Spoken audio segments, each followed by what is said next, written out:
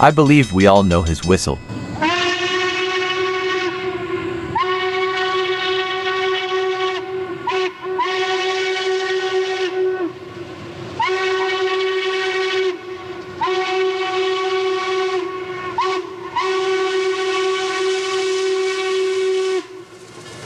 But, is it possible to hear it again?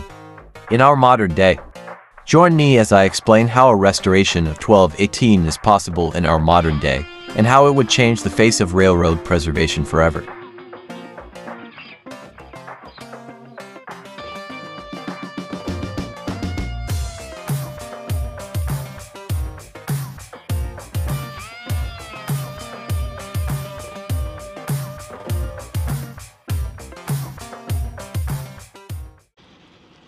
As I've covered before into other A-class videos, 1218 had an excursion career between 1987 and 1991.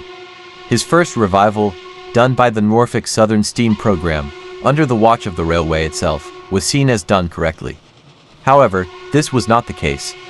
Although they had made it possible for the locomotive to operate under the standards of the National Railroad Historical Society, some of the standards for a full restoration were passed.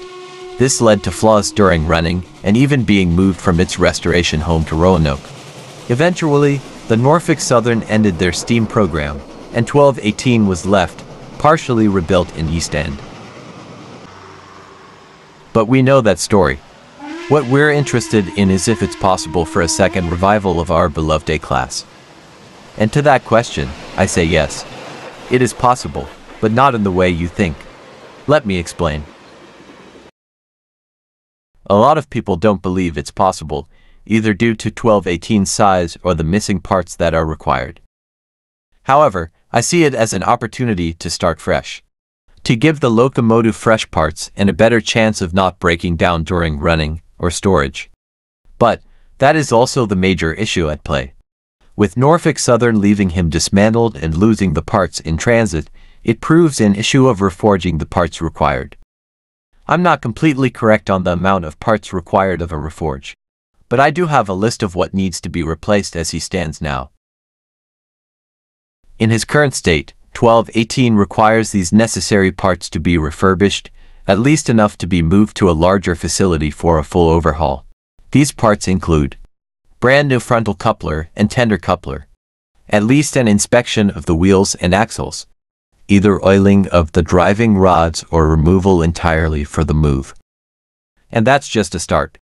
Once he has arrived at the overhaul location, may that be Silva's shops, East End if Norfolk Southern agrees to it, or the North Carolina Transportation Museum, located in Salisbury, North Carolina, he will need these major things knocked out first.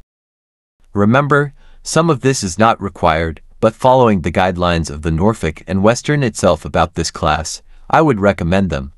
These issues include a full overhaul of the boiler itself, what I call a re-rolling of the boiler, new LED headlight, new bell, and a possible reforge of the 12-inch hooter whistle itself, an overhaul of the tender, possible installation of PTC and cab signaling. With the major issues out of the way, or being worked on, the internals can be forged and be prepared for installation once the overhaul of the boiler is complete. Sadly, I do not know what parts are currently missing from the locomotive. But even then, the parts that are currently there need replacement, as some of them are as old as 1218 himself. In my eyes, I see a full overhaul possible. With the restoration playing out like either 611s, or it becomes a 5550 incident. Running on donations. I see the overhaul taking around the same time as 5550, possibly shorter. Around 5 to 7 years, if all I stated beforehand is done, and done correctly. Do you all agree? Let me know below in the comments.